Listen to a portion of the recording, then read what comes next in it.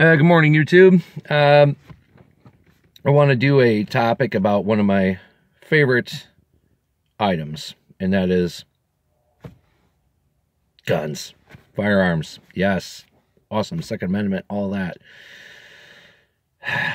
When are people going to stop? You can't take your gun for a walk. You can't ask it what it wants to do. And a gun sure as shit is not going to kill people. It's the person wielding the weapon, holding the gun, that's responsible on whether or not someone dies from it. Do I think there should be extensive background checks? Of course.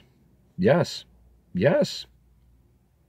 Psychological profile, background check, the whole nine.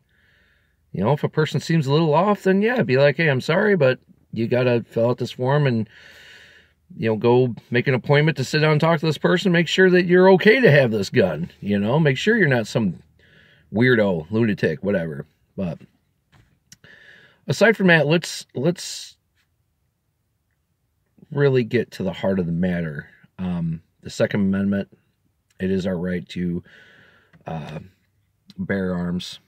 It is our right to have a gun to protect ourselves from everything from whether it be a wild animal, whether it be a criminal douchebag, or whether it be our own tyrannical government, whatever it may be. We have that opportunity. We have that right. The Second Amendment right is yes, we can use a gun to defend ourselves. Ah, excuse me. Um, but let's get to the heart of the matter. Let's go way back. excuse me. Way back to the root of it all. Our ancestors came from Europe. We practically stole money from the crown to come here and to colonize. And then we turned on England and said, uh, up yours, our place now, you can do about it? So, of course, England sends people over here to straighten our asses out. We end up winning. So we have ourselves a free country. However, let's also look at who we stole it from.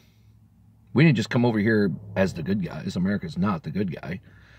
We're just the ones with the bigger stick. Um, you know, obviously there were natives here. Native Americans were here.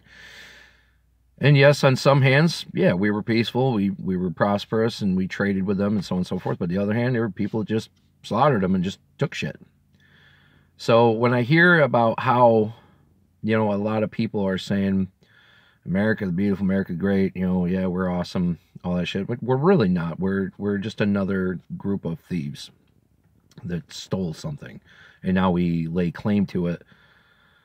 And you know the you know how it is. You've seen the videos on YouTube. You know you, you you've seen this shit. Um, you know America's great and all that, but yet when you turn around and look at it, we jacked it from the Indians, you know, and you know who knows where the Indians got it from? Maybe they just kind of wandered over here and took it over because no one else was here, or whatever. Who knows? I didn't live back then, so I don't know. I just know about what uh, you know research I've done and opinions and so on and so forth. But as far as do I think guns should be taken out of civilians' hands? No, no, absolutely not. You know, obviously, if that civilian has some issues, well, who the fuck sold it to him? You know, where did he get the guns from? He or she. So, yeah, I think uh, psychological profiling and background checks are all things that need to be done for people that own a firearm. But as far as banning them outright, that's just silly shit. You know, Hitler did that when he took over Germany. You know, took uh, took everybody's weapons away. Um, sorry the video's taking so long, but this is a big issue out there right now. And uh, the other thing I'd like to add is why is there armed guards in banks and high-end jewelry stores and such, but yet we can't have like say an unemployed veteran with with a with a pistol patrolling our kids schools to avoid our kids schools being shot up? Sounds like a great idea to me. There's soldiers out there that need a job. They're trained to use firearms and good judgment. You don't got to worry when there's a soldier in your kids' school because you know that guy's trained. He's trained. He's a soldier. He, he, he or she, sorry, he or she is trained to use that firearm and trained to protect people. That's what they're designed to do. That's what they're trained to do. So why can't we employ our veterans? Why can't we employ our hardworking soldiers by saying, "Hey, if you have a handgun, go guard the schools. If you don't, go get one." You know, you don't gotta you don't gotta interfere with with what's going on, but you know, kind of patrol the perimeter, that kind of thing, and keep kids safe.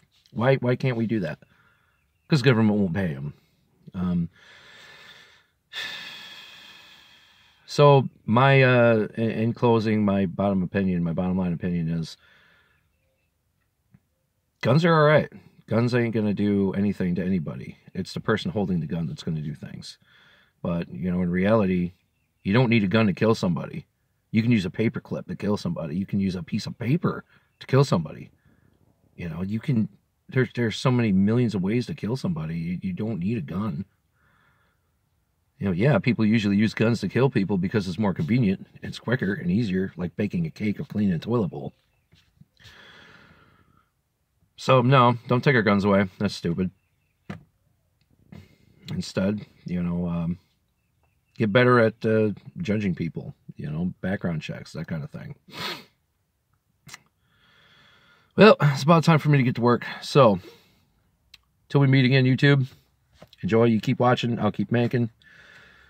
Comment, like, subscribe, share. ETC, ETC. You know what to do. I really appreciate every comment and every view. Much appreciated. Till the next rant. Laters.